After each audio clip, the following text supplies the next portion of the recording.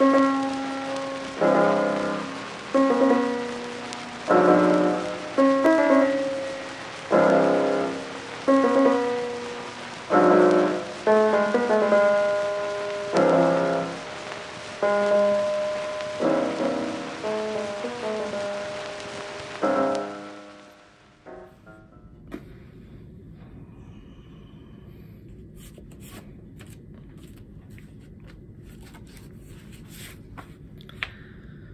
There is a well known account of an old Inuit man who refused to move into a settlement.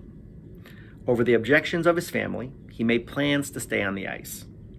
To stop him, they took away all of his tools. So, in the midst of a winter gale, he stepped out of their igloo, defecated, and honed the feces into a frozen blade, which he sharpened with a spray of saliva.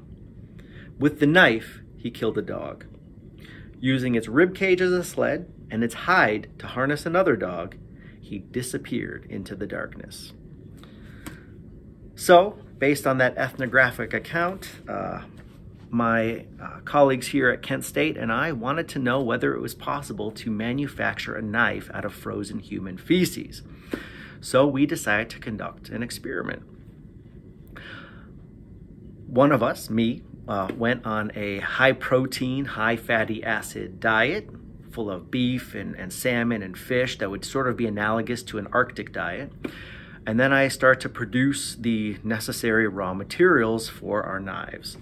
Uh, we decided to sort of give our knives the best possible chance to succeed um, to see if they could actually cut once frozen.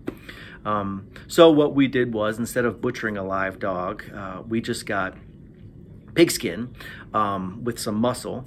And so there was no hair to, to dull the knife blade. Um, the pigskin was also cold, so it wasn't uh, alive and, and warm-blooded like a dog might be, um, a freshly killed dog. And uh, we also had files, metal files, to sharpen our knives as, as best we could.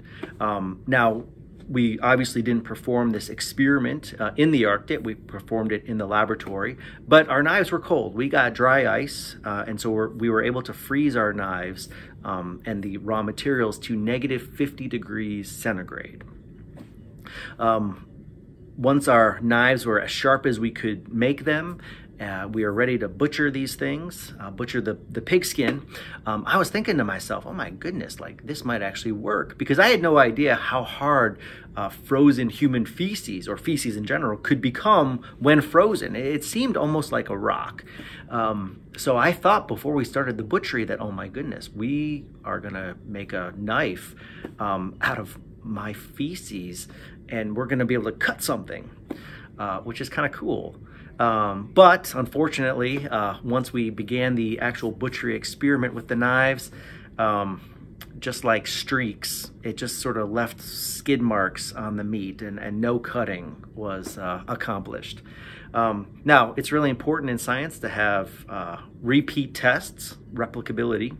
So the co-director of the laboratory, Dr. Michelle Bebber, uh, actually uh, redid the experiment with a, a more Western diet, um, and her knives, when frozen to negative 50 degrees centigrade, uh, also did not cut.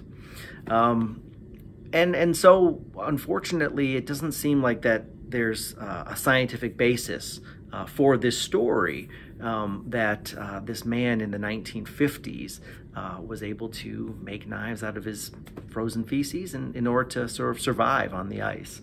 Um, and so I guess it's probably a lesson for all of us that uh, if you're ever in a survival situation, um, just grab some rocks or a stick or something and don't try to defecate into your hands and, and make a knife.